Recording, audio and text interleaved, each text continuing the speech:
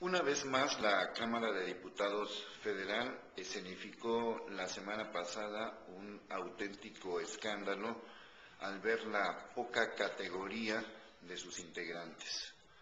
Los diputados representan un poder más en este país, un país que supuestamente se divide en tres, el Ejecutivo, el Legislativo y el Judicial.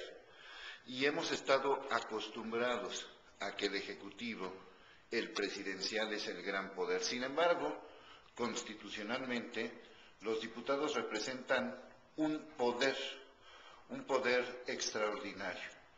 No lo han demostrado, han escenificado auténticas, pues, circos, auténticas payasadas, auténticas formas denigrantes de la política.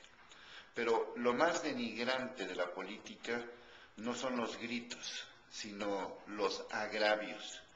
Y este día el Grupo Reforma, este martes 16 de marzo, el Grupo Reforma publica en primera plana el nuevo automóvil de Francisco Ramírez Acuña. Francisco Ramírez Acuña, ex gobernador de Jalisco, ex secretario de Gobernación, y actual presidente de la mesa directiva en la Cámara de Diputados, no ha podido controlar ni ha podido hacer algo para que los diputados estén unidos.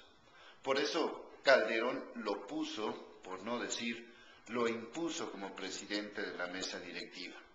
Se le conoce como el duro, el fuerte, el capaz de hacer cualquier circunstancia. Fue a Francisco Ramírez Acuña quien se le encargó, entre otras cosas, la pésima estrategia para combatir el narcotráfico. Bueno, como premio a su ineficacia, porque ha sido ineficaz como gobernador, como secretario de gobernación y como presidente de la mesa directiva de la Cámara de Diputados, se le premia con una Suburban 2010. El equipo anterior de la Cámara de Diputados tenía una Suburban 2006. Y bueno, una Suburban 2006 no fue suficiente. Tenía que tener una de este año. Impresionante como son todas las Suburbans. Según los cálculos vale entre 700 y 800 mil pesos. Calculamos que pues esta gran Suburban debe estar blindada o tener algunos de esos servicios extraordinarios. Ese es el agravio principal. Cuando la gente histérica, cuando la gente enojada, colérica, desilusionada por uno de los poderes, se entera de cómo nuestro dinero se despilfarra en asuntos vanos. No son los 700, 800 mil pesos que cuesta una suburban, que es un lujo demasiado caro para un pobre personaje de nuestra política nacional es simple y sencillamente el insulto, una prueba más de la impunidad, una prueba más de que nosotros como sociedad no le servimos a la clase política, salvo cuando vamos a votar en alguna de estas ocasiones. Francisco Ramírez Acuña representa de lo peor que tenemos en la política.